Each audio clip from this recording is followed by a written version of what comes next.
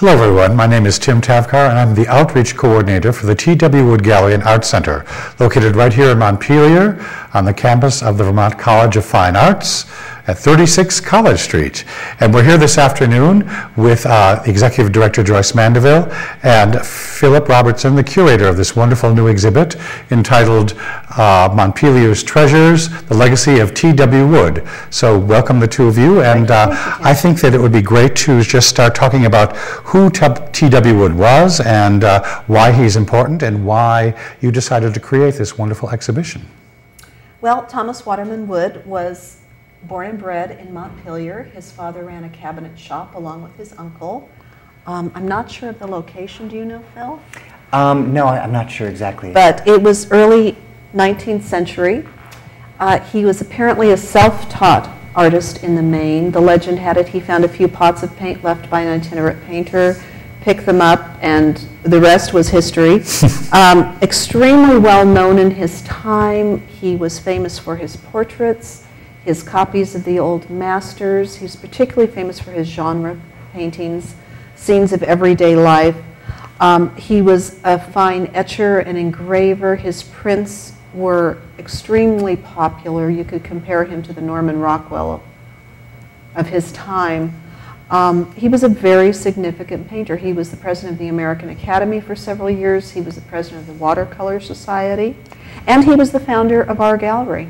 This is the portrait on the cover of the catalog. it's a pretty straightforward self-portrait by Thomas Waterman Wood in his trademark black beret. Um, and this, in this particular painting, it's really evident how he was influenced by Rembrandt, especially with the heavy shading to one side of his face and the, uh, the, the dark brown background, sort of vague, vaguish background. It's a beautiful, beautiful portrait.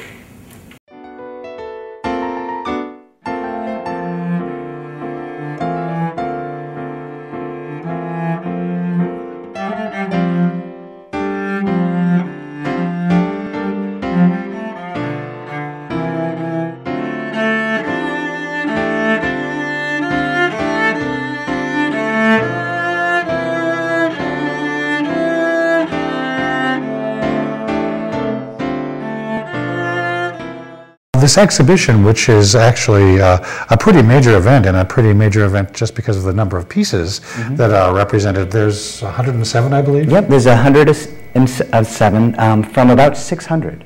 Uh, oil paintings, uh, prints, um, mostly in the 19th century, works by Thomas Waterman Wood and his contemporaries, and a small collection of early 20th century pieces, mostly from the Works Progress Administration the WPA uh, Depression era art, um, some wonderful oil paintings and, and prints.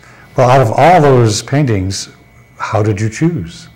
Um, well, that's, that's a great question. Yeah. And really, um, eight years ago, I was executive director. And that is the, one of the many reasons why I was asked to come back as guest curator, because I have a, a, pretty excellent working knowledge of the permanent collection.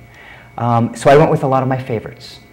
Um, a lot of the important genre pieces by Thomas Waterman Woods, uh, a smattering of the, um, his friends, uh, his 19th century contemporaries, um, and then a selection from the Works Progress Administration. Um, Raphael Soyer, uh, Joseph Stella, Jacob Lawrence. It's a fantastic collection of paintings. Absolutely.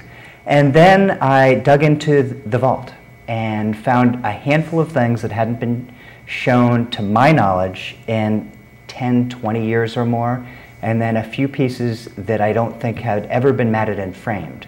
And the last few days, uh, including today, I've been uh, working to get the, the works framed and uh, suitable for exhibit and a group of volunteers, including Joyce, have been helping hang the show. It's been a real group effort. Yes, Which absolutely. explains our appearance. Yes, yes, exactly. I've been painting woodwork and scrubbing floors today, so. Yes. I just got to sit in the office and send out press releases, so it's a little less uh, uh, wearing on the particular garb that one wears. But, you know, I, I think that it's important for people to know or understand why this man was important and why this collection and the output of his work is important, and also why this particular exhibition, which focuses so much on his work, but also happily has uh, things that are owned by the wood, that are in the wood's own collection. And I think that sometimes we get uh, a little focused on you know how local this is, and of course, mm-hmm. people in Montpelier, hopefully most of them are relatively familiar with who Wood was and why his works make a difference and what contribution that uh, they make to art history. But I think it reaches far beyond the local scope of uh, even Vermont art, much less just Montpelier art and things like that. Because is uh, weren't you telling me that uh, Wood's works were hung in really a lot of major galleries across the country? Yeah, a lot of major museums, uh, most importantly the Metropolitan, has a, a major image of Woods of an African American subject. In addition to being a quite skilled and famous portrait painter, Wood is primarily known for his genre pieces, especially um, portrayals of the images of the African American. And unlike a lot of his uh, contemporaries that um, painted images of the African American in sort of a comical light, Wood really painted them with a sympathetic eye.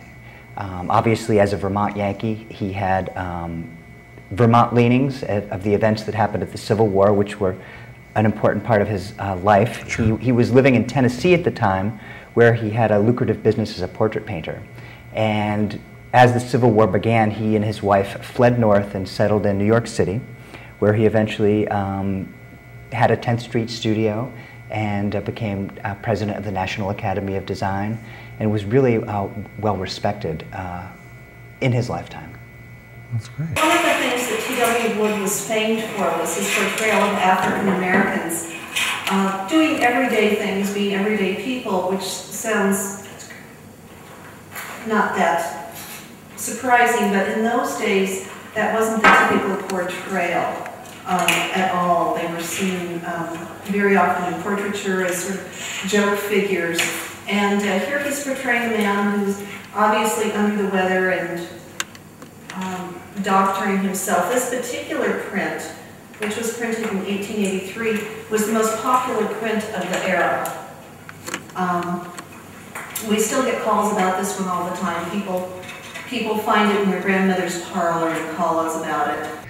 And um, so the choices that you made for the exhibition, uh, you think are sort of, do they have sort of a timeline? Do they go, uh, are there things that represent certain, you know, stages of his work? Or, I mean, are they arranged historically, or how did you decide to actually hang them? I mean, where the pieces are actually going in the gallery? Yeah, I, um, I arranged it more thematically than chronologically. Um, there are a handful of his early works.